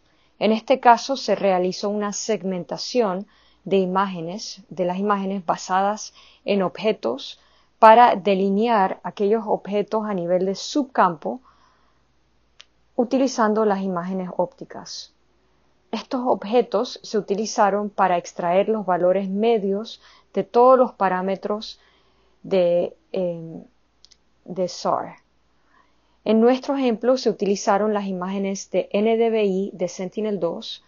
Todas las imágenes de NDVI se utilizaron en una segmentación utilizando un software llamado eCognition Developer. Se sugiere una segmentación basada en objetos utilizando datos ópticos como el método para generar los o definir los objetos o los segmentos. Esto reduce la cantidad de moteado en los datos de SAR y limita los efectos de la heterogeneidad a nivel de campo. Como alternativa, se puede utilizar una delineación poligonal de los límites de los campos para el tipo de cultivo elegido. Entonces esto sería generado por alguna persona, pero preferiblemente a nivel de subcampo para centrarse en las zonas de homogeneidad espectral y limitar las variaciones dentro del campo. Una vez que tenemos nuestros segmentos u objetos para los campos de maíz censados en nuestra área de estudio, realizamos una extracción zonal media de cada parámetro a nivel de segmento para crear una tabla de valores medios para cada fecha de imagen de Sentinel-1 y la correspondiente imagen de Sentinel-2, NDVI de Sentinel-2. El formato final de la tabla CSV es el siguiente.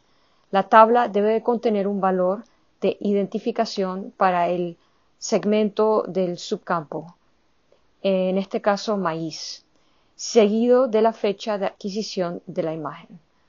La variable Y para la regresión de Random Forest es nuestro valor S2 de NDVI, conocido para cada uno de nuestros objetos de campo, o sea, es calculado para cada uno de los segmentos o objetos.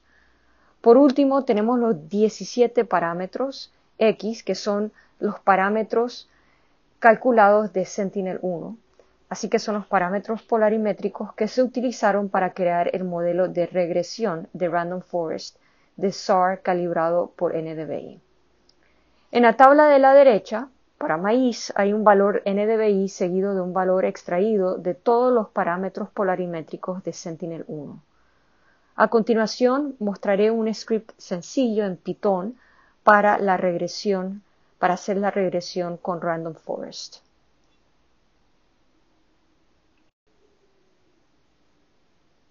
Se seleccionó Random Forest como método de regresión. Random Forest es un método de aprendizaje por conjunto que puede aplicarse a problemas de clasificación y regresión y es útil para identificar relaciones no lineales. El script incluido en esta demostración se creó en Google Colab y utiliza scikit-learn para la regresión de bosques de Random Forest como paquete Random Forest Regressor. Las dependencias para este script son una tabla CSV con el formato explicado en la diapositiva anterior y cómo se muestra a continuación. Scikit-learn es una biblioteca de aprendizaje automático de código abierto que contiene métodos de aprendizaje supervisado y no supervisado. También proporciona eh, varias herramientas para el ajuste de modelos, el preprocesamiento de datos, la selección de modelos, la evaluación de modelos y muchas utilidades. Nuestra tabla de datos de corn, de maíz, contiene las 17 variables polarimétricas calculadas de Sentinel-1 y los valores de NDVI calculados de Sentinel-2 a nivel de objetos para las fechas de Sentinel-1 y Sentinel-2 correspondientes. Los objetos se identifican en la primera columna de datos, seguidos de una variable con la fecha de cada imagen y el valor de NDVI de Sentinel-2 correspondiente. Lo ideal es que la imagen de Sentinel-2 sin nubes corresponda a entre 1 a 4 días con la imagen de Sentinel-1. El resto de las variables de la tabla son los parámetros polarimétricos derivados de SAR, em, es el promedio a nivel de objeto de subcampo para cada uno de los campos de maíz de nuestros datos de referencia. La primera parte del script importa los paquetes necesarios y el archivo de datos CSV de nuestros campos de maíz en nuestra área de estudio. Utilizamos NumPy para convertir los datos en una matriz y para definir las variables independientes y dependientes en los datos. Es importante revisar la calidad de los datos en este punto, ya que el algoritmo Random Forest Regression no se ejecutará con valores de datos desconocidos.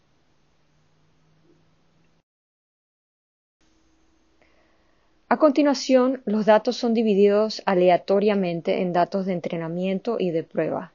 En este caso, el 30% de las muestras se eliminan del conjunto de datos para ser utilizadas en el paso final de validación. Después se ejecuta la regresión de Random Forest en los datos de entrenamiento, que son el 70% del conjunto de datos, con un número de árboles fijado en 500 y este valor puede cambiarse para reflejar el valor mínimo en el que converge el error en el modelo de Random Forest. A continuación, predecimos con el modelo y calculamos la precisión del modelo y el error absoluto medio utilizando el conjunto de datos de prueba del paso 3.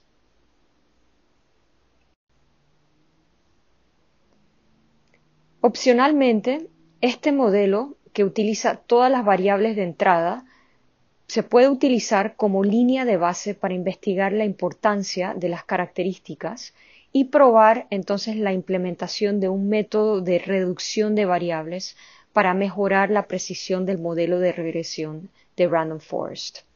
En este ejemplo tenemos dos características de gran importancia para predecir el NDVI, que son la variable del módulo C22BH y el parámetro de Stokes-Child, el primer valor propio o eigenvalor. Esta información puede utilizarse para ajustar el modelo de regresión de Random Forest y reducir la dimensionalidad de los datos. Con un número relativamente bajo de variables de entrada procedentes de la misma fuente de datos y el alto nivel de precisión del modelo, no se aplicaron otros métodos de selección de variables.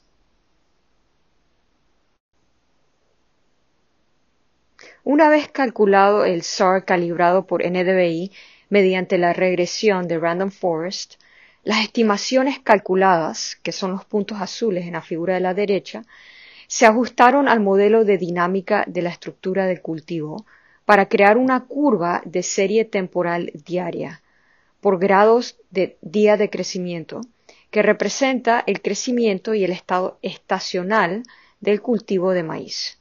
Las líneas del modelo se ajustan a la curva utilizando el modelo dinámico de la estructura del dosel para interpolar una serie temporal diaria utilizando la ecuación mostrada, que en este caso se programó en MATLAB.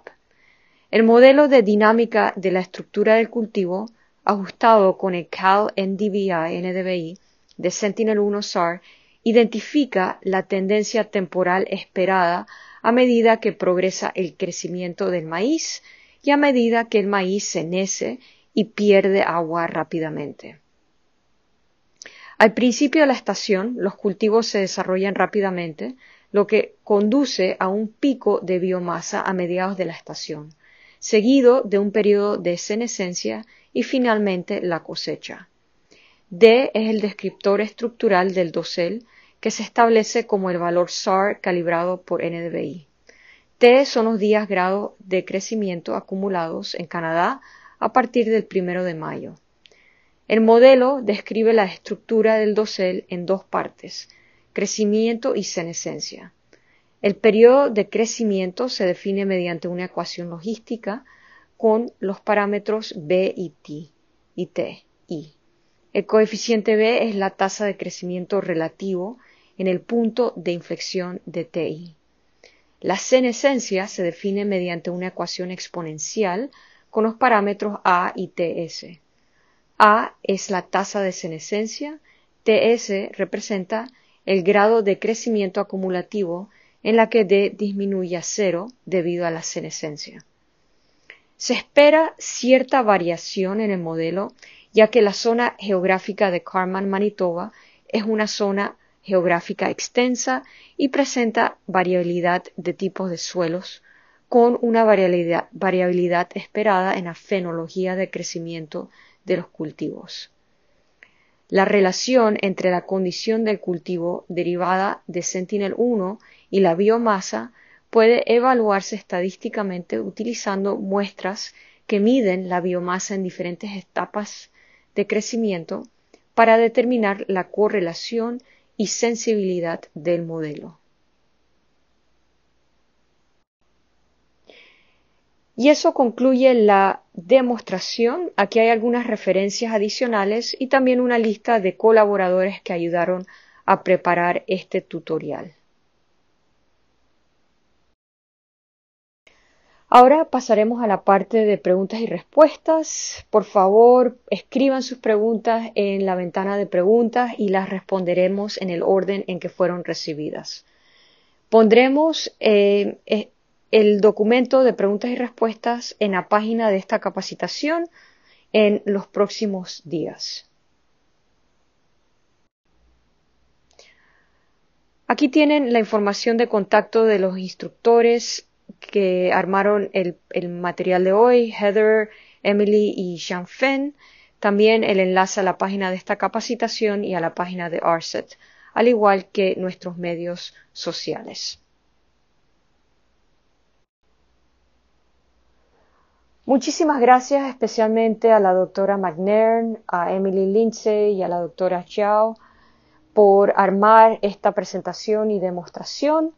Ahora estaremos comenzando la sesión de preguntas y respuestas donde tenemos los instructores en línea para contestar sus preguntas.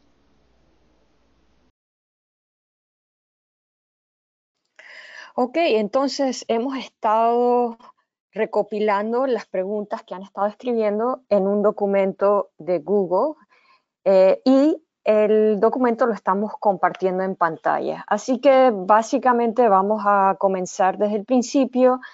Eh, ya hemos estado eh, contestando las preguntas que han estado escribiendo, así que pues nada, comenzamos desde arriba. Y la primera pregunta es, ¿para qué ¿por, qué no se utilizan imágenes de Landsat que tienen más resolución temporal y espacial? Y la respuesta es que se podrían haber utilizado los datos de Landsat y la razón por la cual elegimos Sentinel-2 fue por la cobertura temporal de estos satélites. Con la cobertura temporal de Landsat, y también los problemas de cobertura de nubes, generalmente hay menos imágenes de Landsat disponibles para construir el modelo. Además, las bandas de Sentinel-2 rojas y la eh, infrarroja cercana tienen una resolución espacial de 10 metros, mientras que las bandas equivalentes de Landsat tienen una resolución espacial de 30 metros. Así que, em, sí, nada más para añadir, un poquito más aquí, la resolución de temporal, de lanza es de 16 días, la de Sentinel-2 es de 5 días. Así que obviamente hay más probabilidad de adquirir imágenes sin nubes por, eh, utilizando Sentinel-2. y también que la, resolución espacial de Sentinel-2 es mayor para ciertas bandas en comparación a Landsat. La segunda pregunta. Creía que los productos de MODIS solo están disponibles semanas después de su adquisición. ¿Qué producto MODIS usa el CCAP para tener el NDVI de MODIS semanalmente? La respuesta es que los datos originales pueden ser descargados del eh, Servicio Geológico de los Estados Unidos o de la NASA, la reflectancia, y del NSIDC, que es un centro de archivos de datos, eh, también eh, de la NASA. El AAFC genera MODIS NDVI directamente a partir de los datos diarios de reflectancia de superficie y esto se hace utilizando los datos de MODIS Terra L2 de 250 metros. Y también se utiliza la extensión diaria de la, eh, de la cobertura de nieve utilizando los datos de MODIS Terra L3 y estos son de 500 metros.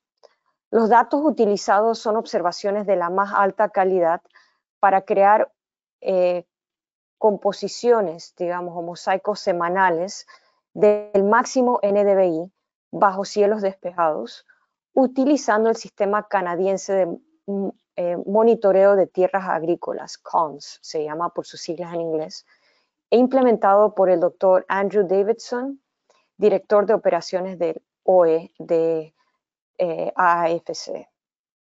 El sistema CONS está automatizado para buscar datos a diario y estos datos se descargan y los mosaicos HDF, HDF se extraen a GeoTIFF y luego se procesan.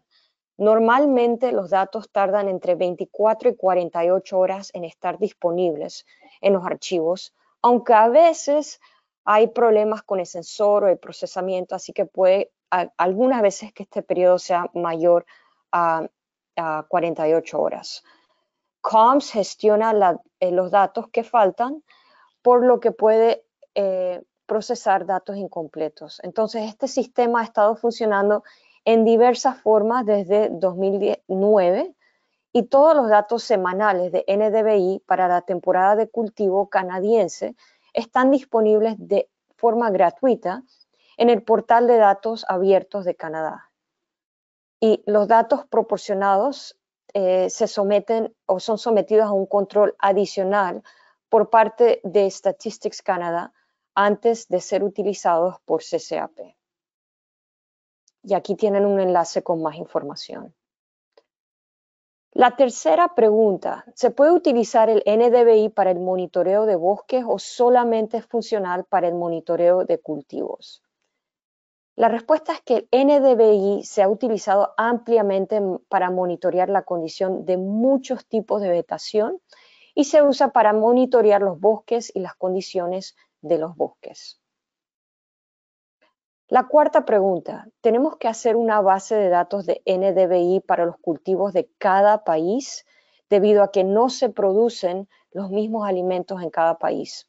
Por ejemplo, si en Estados Unidos se cultiva trigo y en Centroamérica también, se podría usar el mismo NDVI en la interpretación y el análisis del estado de este cultivo, aunque las condiciones del tipo de tierra y las condiciones atmosféricas sean muy diferentes. Esta es una muy buena pregunta.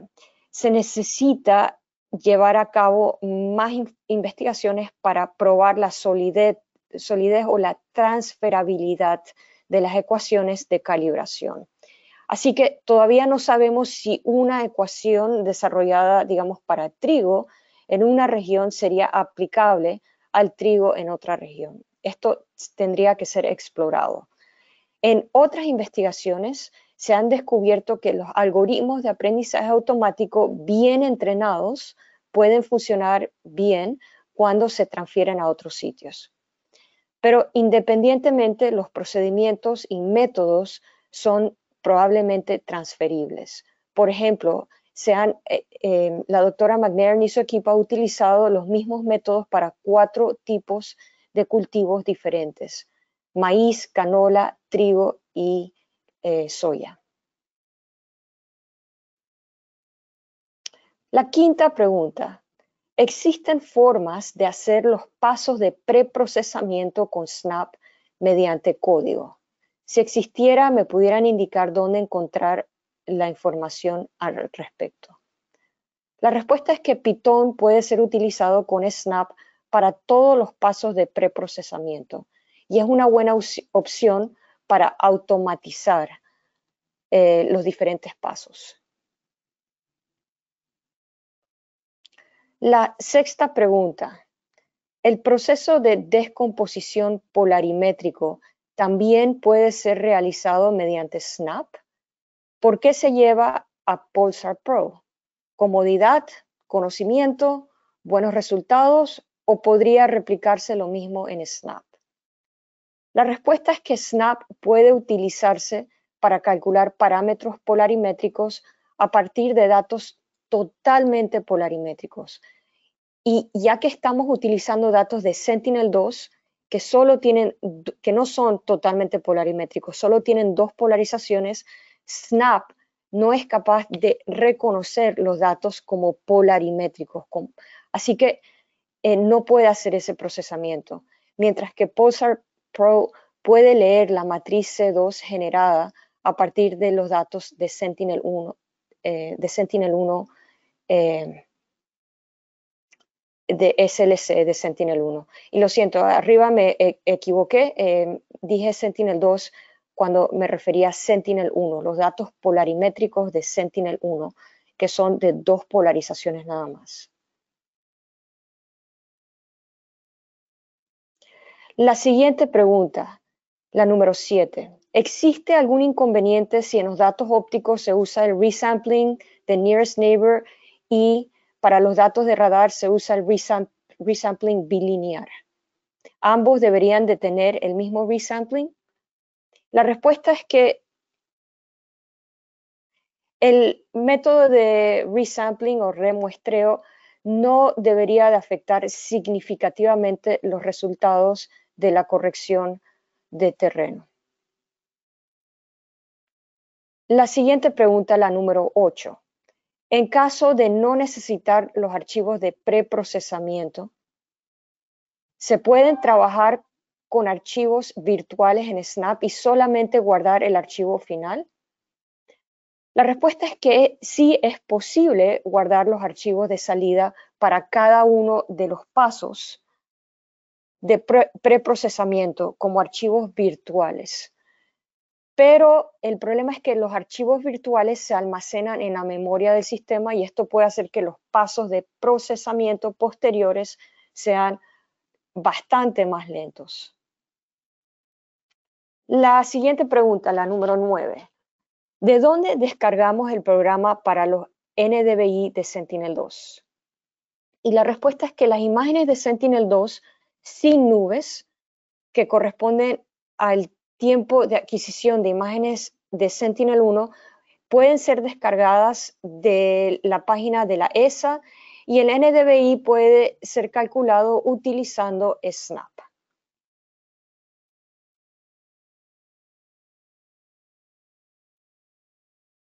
La siguiente pregunta. ¿Puede resumir en forma acotada cómo se aplicó el proceso de segmentación y su objetivo?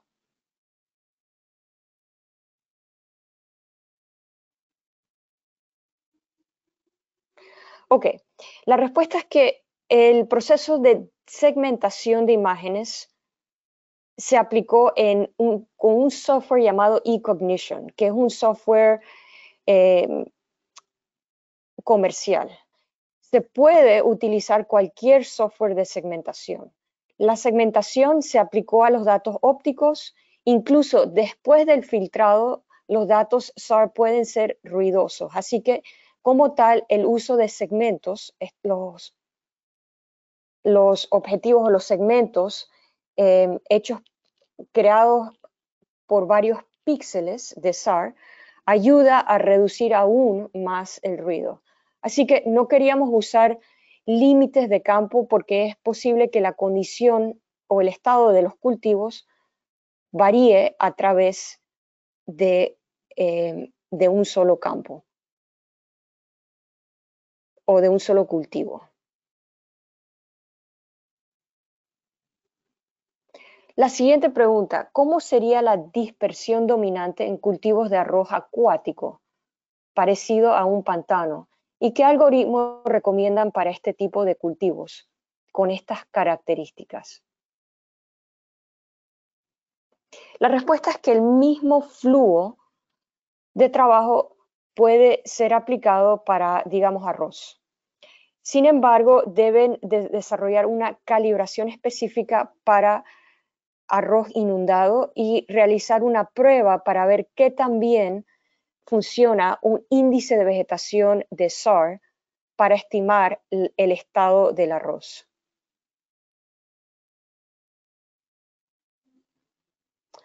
La pregunta número 12. Mi pregunta es cómo resolver un error de corrección radiométrica en las imágenes de radar porque cuando aplico esta corrección, las bandas virtuales me aparecen vacías, sin datos.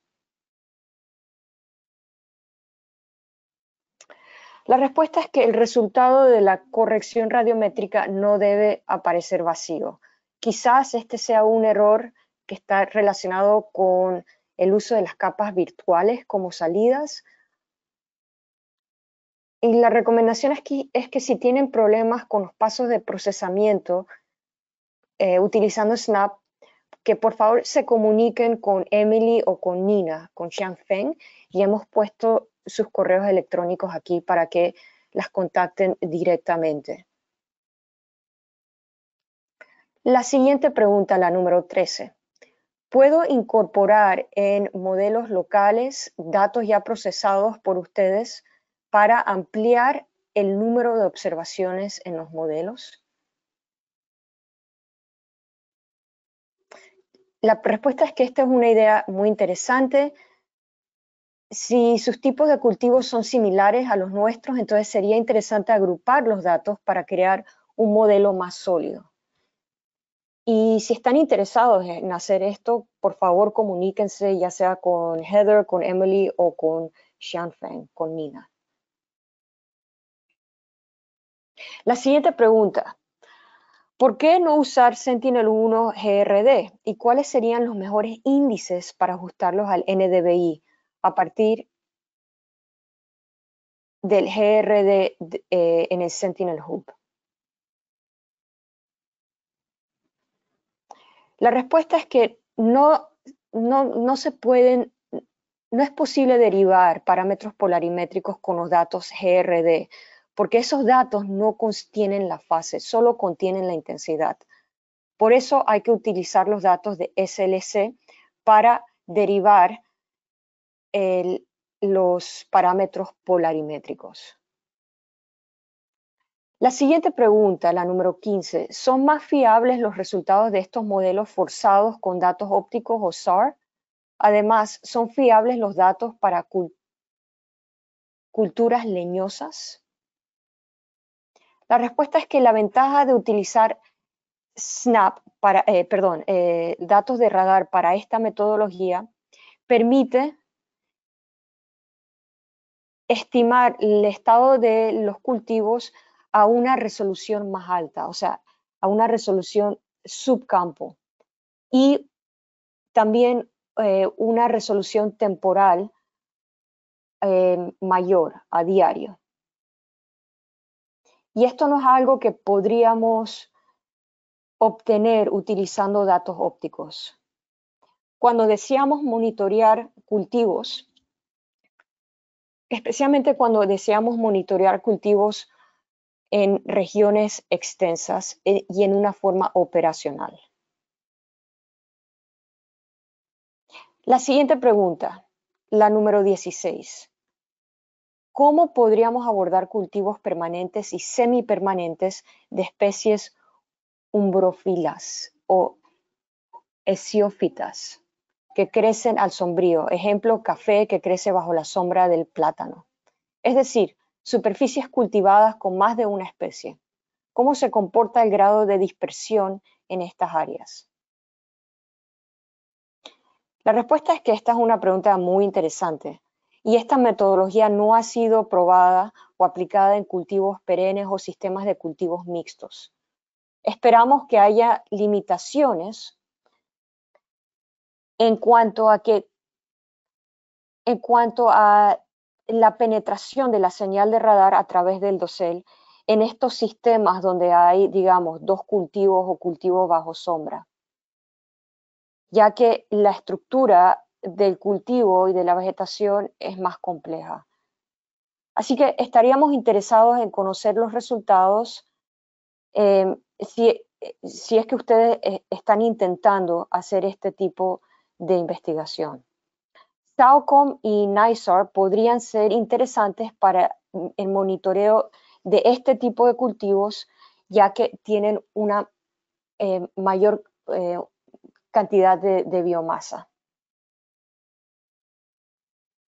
Y estos satélites operan en la banda L y la banda L permite mayor penetración de la señal a través de la vegetación. Así que probablemente datos con estos satélites serían más relevantes para este tipo de estudios. La siguiente pregunta, la número 17. ¿Es posible usar datos, digamos, de SAOCOM en lugar de datos de Sentinel-1?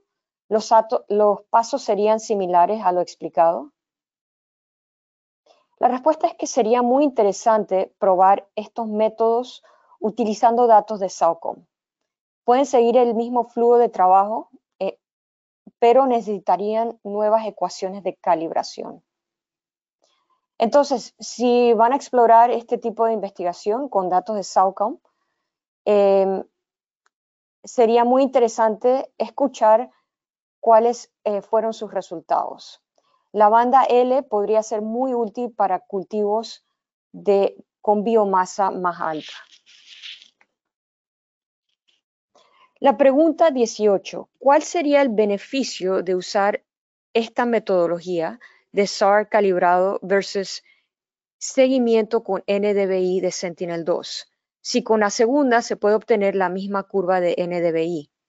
Me pareció que habían imágenes suficientes imágenes de Sentinel-2 para hacer la calibración, así que imagino también que podrían haberlo para el uso futuro.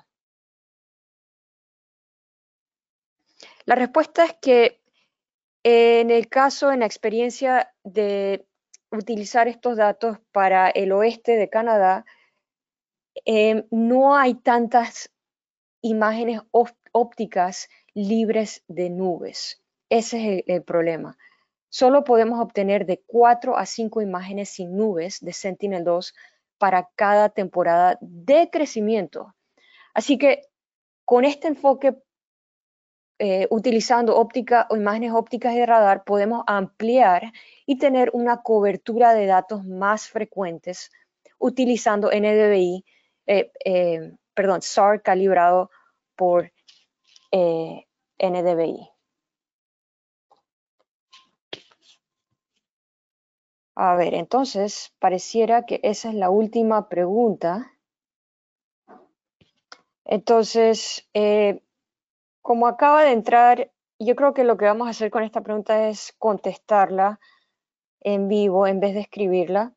Uh, so we'll just go ahead and uh, perhaps respond to this question live. Um, so the question is, I didn't understand the SAR CAL NDVI fitting. Was each segment or object analyzed with a specific random forest regression model for each date? In this case, if, in the, if during the phenological cycle of the crop, I have six images, should I create six random forest regression models? So perhaps you can answer that and I will do the translation on the fly.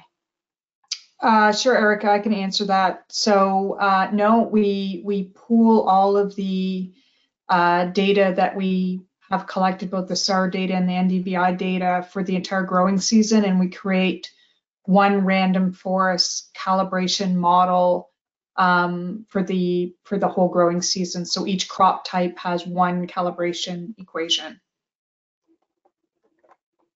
Okay, thank you very much, Heather.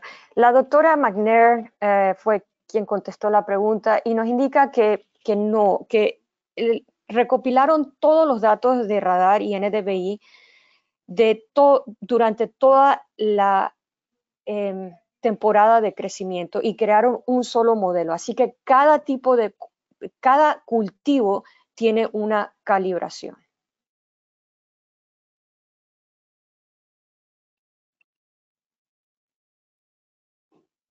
Ok, entonces, a ver si hay algo más.